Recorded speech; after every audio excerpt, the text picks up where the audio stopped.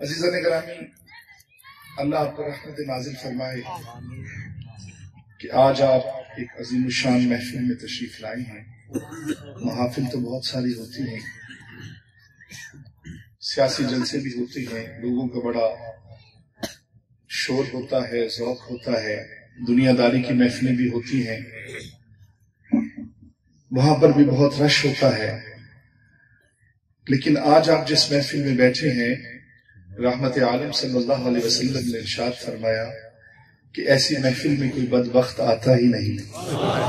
جہاں پر اللہ رسول کا ذکر ہوتا ہے وہاں کوئی بد وقت آتا ہی نہیں۔ اگر آ جائے تو اللہ اسے بد وقت رہنے نہیں دیتا۔ دیکھیے میں خطیب خطیب پاکستان نہیں ہوں۔ نہ مجھے شولہ بیان تقریر آتی ہے۔ چودھری یونس گجر صاحب سے محبت ہے۔ اور پھر ہر حضور کے عاشق سے محبت تو ہوتی ہے۔ شعبے کے اعتبار سے ڈاکٹر ہوں، نشتر میں اپنی ڈیوٹی کر رہا ہوں، حاضر سروس ہوں ایٹین گریڈ میں اسسٹنٹ پروفیسر ہوں، ڈاکٹروں کو پڑھاتا ہوں۔ لیکن یہ میری دنیا کا تعارف ہے۔ اصل تعارف یہ ہے کہ تیرے عشق پنائے ودے پندے ہیں اصل نوکری تو مدینے والے کی ہے نا۔ داتا صاحب نے داتا صاحب نے نوکری کی، اب وزیر اعظم بھی جوتے اتار کے جاتا ہے نو سو بہتر سال گزر گئے۔ وزیر اعظم بھی جائے گا تو پھول چڑھاتا ہے جا کر۔ ایک لاکھ بندہ چوبیس گھنٹوں میں لنگر کھا رہا ہے۔ سوا کروڑ روپیہ مہینے کا گلوں میں سے نکل رہا ہے۔ مجھے بتائیے کس وزیر کی تنخواہ ہے سوا کروڑ روپیہ مہینے جس نے حضور کے ساتھ وفا کی غلامی کی نو سو بہتر سال گزر گئے آج بھی وہاں سلام ہو رہے تو اصل سودا تو یہ ہے غلامی رسول کا اصل تعارف آجز کا یہی ہے کہ نبی پاک صلی اللہ علیہ وسلم کی نوکری نصیب ہوئی۔ نہ میں پیر ہوں نہ میرا والد پیر تھا نہ میرا دادا پیر تھا۔ ایک اللہ والا ملا اندر کی گندگی نہیں جاتی تھی۔ اس نے اندر صاف کر دیا۔ قرآن تو ہم سنتے تھے، بیٹا بیٹھ جائے۔ بیٹھ جائے۔ آپ کی توجہ کی ضرورت ہے، لمبا خطاب نہیں کرنا۔ دو چار باتیں آپ سے ڈسکس کرنی ہیں۔ قرآن سنتے تھے، لیکن اثر نہیں ہوتا تھا۔ کیا آپ کو پتہ نہیں ہے کہ قرآن کتنی بڑی کتاب ہے؟ کیا آپ کو معلوم نہیں کہ نماز پڑھنی ہے؟ پڑھتے کیوں نہیں؟ اچھا مجھے یہ بتائیے کہ نیکی قیمتی ہے یا دولت قیمتی ہے؟ بولیے۔ آپ کو پتا ہے نیکی قیمتی ہے، لیکن آپ کتنی نیکیاں کرتے ہیں؟ اگر یہی بے نظیر انکم سپورٹ پروگرام کے تحت ایک ہزار روپیہ اس بستی کو مل رہا ہوتا، تو پوری بستی وہاں لائن میں کھڑی ہوتی۔ اور اس محفل میں کیا ملتا ہے؟ یہ جب قبر میں جائیں گے، آنکھ بند ہوگی تو پتا چلے گا کہ اس محفل میں کیا ملا ہے۔ پتا تھا سب کچھ، جانتے تھے۔ مانتے نہیں تھے۔ اللہ والا وہ ہوتا ہے جو نگاہ کرے۔ وہ اندر سے منوا دے اللہ کا بندہ بنا دے حضور کا غلام بنا دے۔ اسلام آباد پڑھتے تھے والد ڈی ایس پی تھا گجر برادری تھی۔ آدھا خاندان قبضہ گروپ ہے۔ یہ ماحول تھا۔ قرآن سنتے تھے اثر نہیں ہوتا تھا پتہ تھا نماز پڑھنی ہے ادھر توجہ نہیں ہوتی تھی۔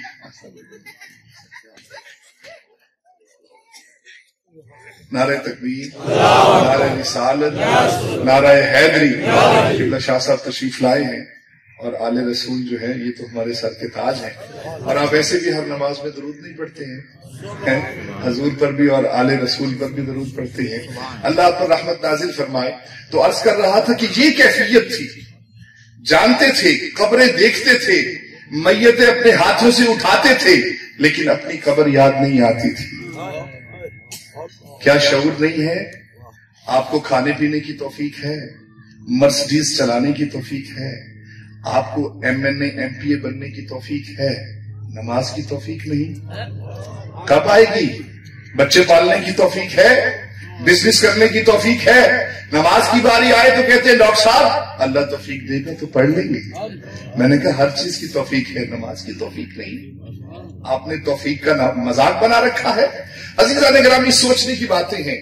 کچھ کھڑی کھڑی باتیں کروں گا۔ مقصود و مطلوب اصلاح ہے۔ ایک اللہ والے کے پاس بیٹھے، اندر کی گندگی گئی۔ جب یہ من صاف ہوا، پھر داڑھی رکھنی مشکل نہیں ہوئی۔ پھر حضور کا امامہ رکھنا مشکل نہیں ہوا۔ یہ آپ کے سامنے پیر بن کے نہیں کھڑا۔ الحمدللہ، یہ نشتر جاتے ہوئے میرا آفیشل ڈریس ہے۔ ایسے ہی جاتا ہوں نشتر۔ بہرحال اللہ آپ پر رحمت نازل فرمائے، پیغام یہ دینے آیا ہوں کہ دنیا کے اے مسافر، منزل تیری قبر ہے۔ محلات میں سونے والے مٹی میں سو رہے ہیں۔ بڑے بڑے بادشاہ آئے۔ وہ بھی تھے لوگ جو قلم چلاتے تھے۔ لوگوں کی قسمتوں کا فیصلہ ہوتا تھا۔ آج جیلوں میں پڑے ہیں۔ یہ بندے، قبریں یاد کر بڑے بڑے شہنشاہ گزر گئے۔ کیا لے کر جانا ہے؟ اپنے آپ کی اصلاح کر۔ عزیزہ نے کرامی چونکہ میلاد کا پروگرام ہے، رحمت عالم صلی اللہ علیہ وسلم سے محبت کیا ہے؟ عقیدہ کیا ہے؟ ایک ضروری بات صرف آپ کو سمجھانا چاہتا ہوں۔ عقیدہ، عقیدت اور وفا، تین بنیادی اصول ہیں۔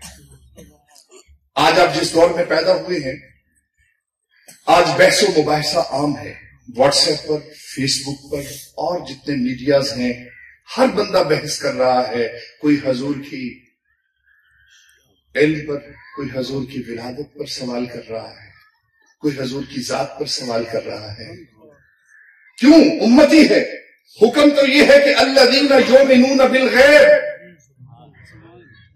کہ نبی بحث کے لیے نہیں، نبی کی ذات تفکر کے لیے نہیں۔ نبی کی ذات ماننے کے لیے ہے، ایمان کے لیے ہے۔ اور ایمان یہ ہے کہ نبی جو فرما دیں چاہے نظر آئے، نہ آئے، غیب ہو، مانتے جاؤ۔ حکم تو یہ ہے۔ کیا ہوا؟ اس مسلمان کو کیا ہوا؟ آج لوگ رسول اللہ صلی اللہ علیہ وسلم کا نام چومنے سے ڈرتے ہیں۔ کیسا امتی ہے جو اپنے نبی کے نام چومنے سے ڈرتا ہے؟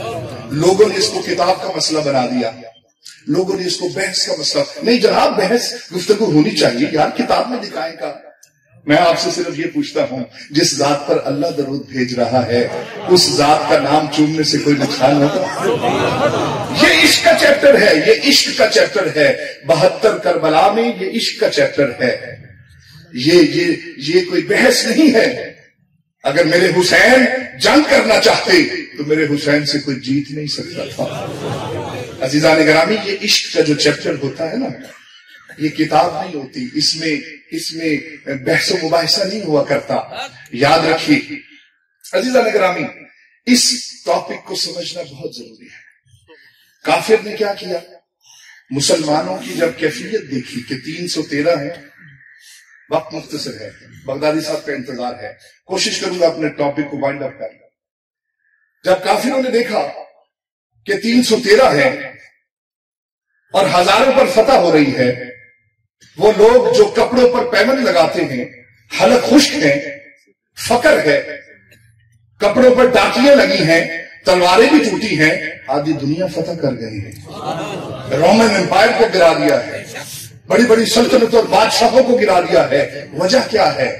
پتا چلا کہ ان سے ہم لڑ تو سکتے نہیں۔ ون ٹو ون فائٹ تو کر نہیں سکتے۔ کیونکہ ان کے سینے میں کوئی ایسی چیز ہے، حضور کی محبت ہے، کہ جس کی بنیاد پر یہ پیچھے نہیں ہٹیں گے۔ شہادت کا جذبہ ہے۔ مسلمان کے پاس ایک بہترین اصول ہے شہادت کا۔ کہ وہ اس دنیا کو عارضی سمجھتا ہے اور اس کا شوق ہے کہ وہ اللہ کا دیدار کرے۔ نبی کا دیدار کرے۔ یہ وہ کیفیات ہیں۔ تو پھر کافر نے کیا کیا؟ انہوں نے کہا کہ مسلمانوں کو مارنے کا ایک ہی طریقہ ہے کہ لاشعوری طور پر مارا جائے۔ ان کو بحث مباحثے پر لگا دیا جائے۔ اور علامہ اقبال نے اس پر فرمایا کہ یہ جو فاقہ کش موت سے ڈرتا نہیں، ذرا روح محمد اس کے بدن سے نکال دو۔ آپ کے بدن سے روح محمد نکال دی گئی۔ حضور کا عشق نکال دیا گیا۔ آپ چلتے پھرتے لاشیں ہیں اور عشق کیسے نکلا؟ اگر میں آپ سے کہوں کہ جی حضور سے محبت نہیں کرنی، کوئی کسی سے، کسی مسلمان سے کہے کہ حضور سے محبت نہیں کرنی، وہ کہے گا، بھائی جاؤ اپنا کام کرو۔ کیوں نہیں کرنی؟ تو پھر کیسے محبت نکالی جائے؟ ایسے محبت نکالی جائے کہ محبت بھی نکل جائے اور مسلمانوں کو پتہ بھی نہ چلے۔ اور یہی کام ہوا۔ ایسی جماعتیں انسٹال کی گئی ایسے لوگ انسٹال کیے گئے جنہوں نے سوال و جواب کا سلسلہ شروع کیا تفکر کے نام پر کہ ڈاکٹر صاحب، علم پڑھنا چاہیے جی فرض ہے۔ تو بھائی ہم بھی تو ریسرچ کر رہے ہیں۔ میں نے کہا، بھائی کس چیز پر ریسرچ کر رہی ہے حضور کے علم پر۔ یہ ریسرچ کی بارگاہ نہیں ہے۔